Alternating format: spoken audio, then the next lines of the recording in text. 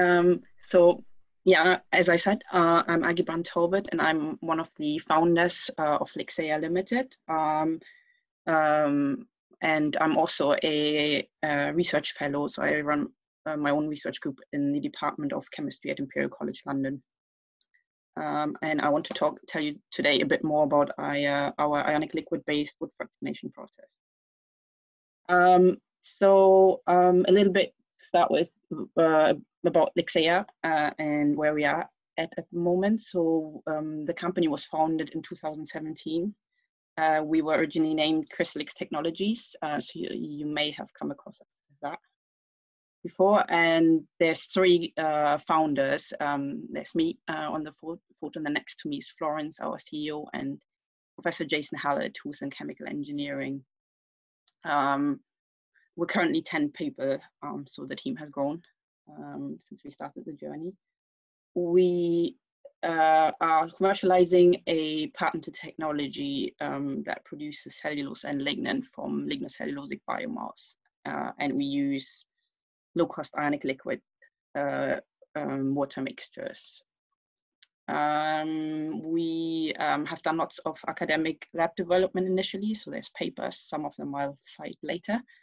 Um, and um, as part of the uh, commercialization, we um, we've also done some upscaling. Um, so our initial experiments, if you see in the corner here, I don't know if you can see my um, my pointer um, at the 10 milliliter scale. So that's where we do kind of our screening experiments. Then we also have one liter reactor in the lab. And in order to go a bit bigger, we went to bio-based pilot plant. I've seen there some representatives here. So it's me actually standing in the bio-based pilot plant uh, and running our ionic liquid process at the um, 100 and 200 liter scale. Um, and based on that, we won last year an ESA Accelerator blended finance um, funding from, from the European Commission to build a uh, proper pilot plan that is designed for so that we run our process.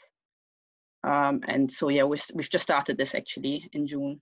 Um, um, and um, yes, so hopefully in a, in a year and a bit, there will be a pilot plant up and running. At the moment, we can provide cellulose and lignin at the like 100 gram scales using the reactors that I've shown you, I'm showing you on the slide.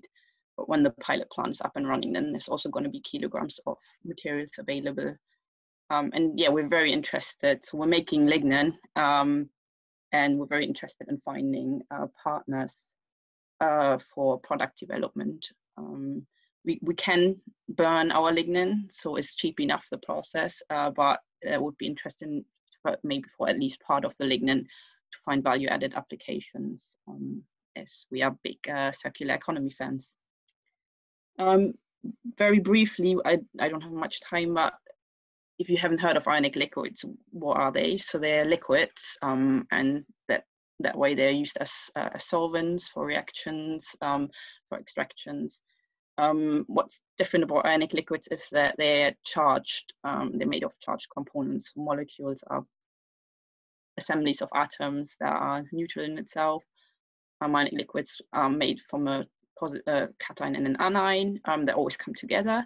Um, and normally, so they're salts. And normally, when you think of salts, you think of the sodium chloride in your cupboard, uh, which is a solid. Um, a lot of salts are solid because of the strong inter interactions between the cation and the anion.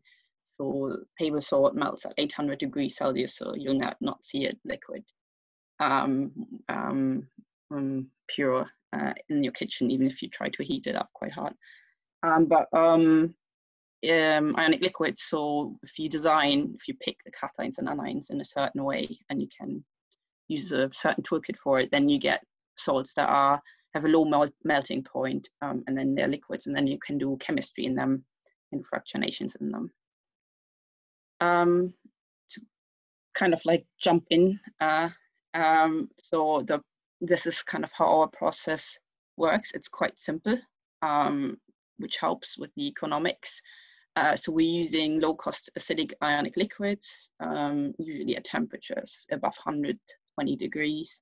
And the ionic liquids that we've selected from a huge pool, so there's many ionic liquids, have a high lignin extracting power, uh, so it's key about them. Um, they don't dissolve cellulose. Uh, we decided early on that dissolving the cellulose is not a good good idea um, because it's hard to do. it limits you to ionic liquids that aren't economically interesting.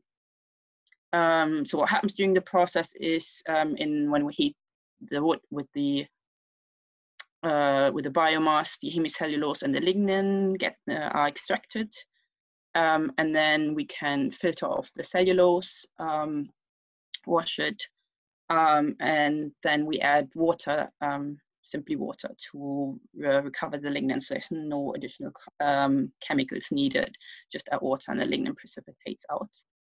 Um, and then we uh, need to take out that water again um, to get back to the original water content. There's always some water in it. Um, so we're fluctuating between two different water contents. Um, and when we distill out the water, then the volatiles uh, come out as well. So we see acetic acid and furfural. Um, because ionic liquids are, have these strong interactions between the cation and anion, um, they're non-volatile, um, so we can't recycle the solvent uh, by distillation, uh, as for example, Organosolv processes do. Um, so um, this helps us with solvent recovery. I'll show you um, data later. Um, but it means that anything that's dissolved in it and we haven't taken out during the filtration and the distillation will cycle cycle along. Uh, so we need to check whether that kind of, you know, there's nothing um, uh, there's nothing accumulating. So that was a really important thing. Um, so here is what we get. So we're basically getting a cellulose-rich pulp um, when we uh, when we do the, um, the, the, the when we run the process. Um, we've worked on this for quite a while, and so um, these are the pillars of work that we've done or we're currently doing. So we designed ionic liquids first for function, and then uh, we're very aware that solvent and solvent-based processes, solvent cost is key. Uh, so we um, we designed the ionic liquids also for the lowest possible cost, and we've reached um, prices that are similar. So we just talked, uh, kind of heard about acetone-based uh, pulping in the Fabiola process. So our, our, ionic liquids are the same cost, uh, or even sometimes cheaper um, than acetone, depends on the oil price. Um, um, and that's very important for the process economics. Uh, we've also demonstrated recycling, um, um, process intensification. Uh, so looking at some of this, uh, we screened a lot of different feedstocks, including softwood and even metal contaminated uh, waste wood. Um, and now we're increasingly interested in valorizing uh, products, uh, which is the cellulose and the lignin. We're also thinking what we could do with the uh, dissolved hemicellulose, um, making furfural or formic acid. Um, briefly, kind of key um, issues with ionic liquids, if you're interested in the field, um, you come across the um, concerns about price. so here's what we did in to evolve the ionic liquids. Um, so we went from 20 kilos, um, $20 per kilo or euros um, uh, initially, which is not bad for an ionic liquid, but we managed to reduce it by a factor of 10 to a dollar. And that's because the ionic liquids are made from a simple bulk amine like triethylamine and um, sulfuric acid, um, which is a, a, very cheap chemical. Um, um, we've also looked into here's again another thing um, that is key um, to you want to have a very fast process. Um, you can have a small reactor uh, and high throughput. So we demonstrated that you can run the process. Uh, you can run at lower temperatures, but you're really getting short times when you go to 150 uh, degrees C or um, um, or or higher temperatures, and we can literally pre-treat um, to the extraction in, in minutes. Um, these, this is in actually the smaller vials, so it's not optimized small unstirred vials. Um, so hopefully with process development, we can really hit just a few minutes in the reactor um, to get cellulose and a lignin. Um, the recycling was quite important. Also not for for general process performance, but we also we're looking carefully at lignin uh, yield um, and lignin characteristics when you reuse the ionic liquid. Um, and here are some data from one of our paper that was published three years ago. Um, and as you, can, as you can see, um, the performance holds up uh, both for cellulose quality um, and uh, we um, recover the lignin. So any lignin that doesn't come out in the first comes out in subsequent cycles. Um, um, and there seems to be a um, um, yeah, kind of a balanced, steady state that is uh, being approached. And uh, what we, we're really pleased about is the ionic liquid recovery. So solvent recovery, I'm sure the Organosolv people know this is a huge issue and a huge influence on the uh, sort of um, viability of the process. And we could, at the lab scale, a very small scale, demonstrate more than 99% uh, um, solvent recovery. Um, and we also, so we checked uh, inorganic salt uh, buildup as well. Um, and yeah, we, we don't see that the organic, inorganic salts build up in the ionic liquid. Um, um, we were making, before I come to lignin, a quick word on our cellulose pulp. Um, so we're making a cellulose, uh, we're making a cellulose. Um, we've initially looked a lot at hydrolyzing it, but then we asked the question, could we actually, um, you know, use it as a material because the, uh, the lignin content is low uh, in under optimized conditions. So it's a bit like a pulping process. Um, and indeed, our cellulose is bleachable and the crystallinity is retained when we look at the XRD. Um, um, the molar weight um, reduces because um, the solvent, the ionic liquid is acidic um, but uh, it, it looks in an interesting range for maybe dissolving pulp um, or nanocellulose. Uh, we're still looking, so we're also looking for cellulose partners, but I know we're, this is lignin, so let's not talk too much about cellulose. Um, so here, here's, here's lignin, the star of the show. Um, so we looked, um, we started looking at uh, our lignin five years ago with a bit more detail. Um, and what we found is, um, so I guess first of all, good news, it smells nice. Actually, our lignins usually have a slight vanilla touch. We even, we send it to a um, perfume manufacturer recently and got the results back and they said like, yeah, it smells nice. They're kind of um, trained testers. Um, not kind of long lasting and enough for them to consider it further for the products, but they we have you know white our a report that says our lignin smells nice. Um, it is brown like most lignins, um, and that's due to um, yeah during those conditions lignin just uh, it, it, hydrolyzes. Um, um, so the, the ether hydrolyze, and there's also condensation reaction uh, happening um, similar to what's happening maybe in kraft processing. So the lignin is brown uh, we consistently find that the ash content is low. Um, and the phenolic content can be um, tuned uh, depending on the severity. Um, when we look at the effect of recycling, we didn't see uh, much, uh, much of a difference. Uh, so the the lignin is condensed, um, as I said, so you, we can see in the, uh, in the NMR spectrum, we can see some evidence, so I circled uh, structures where the rings have reacted. Um, um, so we don't assume that the lignin is linear, um, but it, it, looks fairly consistent in, in, in its quality. Um, obviously, really analyzing lignin on a structural basis after it's extracted is really difficult. I'm, I'm sure the technical people appreciate that. Um, and the molar weight seems to also sort of fluctuates a bit at the startup, but then seems to level out. Um, you can see that the lignin is quite polydisperse, um, which you expect for condensed lignin.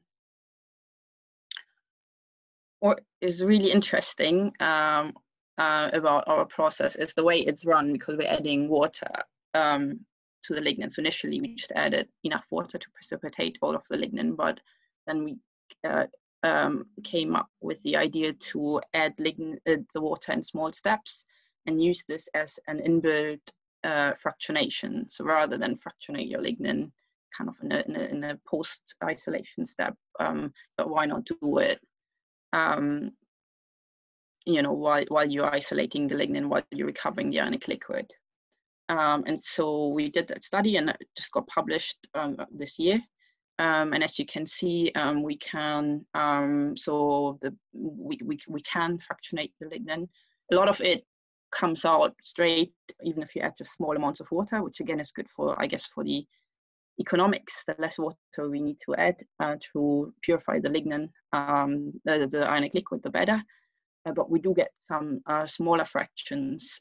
Um, so if, if, we keep adding more water, we get some fractions that have a very um, that are you know much more defined in molar weight and uh, have what they yeah find and they have a shorter molar weight, and that's very interesting. So what, how we see this is that maybe you can fraction, you can first take out the very polydispersed condensed lignin, um, send that to incineration or some value, you know, applications that don't care, and then isolate the more defined lignins uh, by adding more water um, later. Um, while just in the plant, so you don't need to have a second step for that. Um, I think I'm nearly finished. One thing, so that was mostly what based on the fractionation. And as, as you see, we haven't done much on lignin applications. Um, so we're really looking forward to doing more on that. What I'm currently doing in my uh, research group is we're looking at carbon fibers um, from ionoSolv lignins. Um, it's not an easy task. Uh, so, uh, but um, if if that works, that's a, it's a really great application because we can potentially make much lower carbon fibers, lower cost carbon fibers than the current ones, um, and they're bio-based as well. Um, so everyone wins the commercial uh, uh, team and the sustainability team, and we're developing uh, protocols for making these um, uh, for making bringing lignin into a fiber form using using ionic liquids that are designed for that. Um, and then also, I'm really interested in making lignin architectures that make the carbon fibers. They need to be a bit more stronger um, than what, yeah, the state of the art is currently. Um, that's our current spin lab-based uh, spin up uh, uh, spinning setup. Um, yeah, um, so that's that's it. Um, thank you for listening. Um, please get in touch or ask questions. Um, and yeah, follow us on Twitter um, as well. Um, thank you.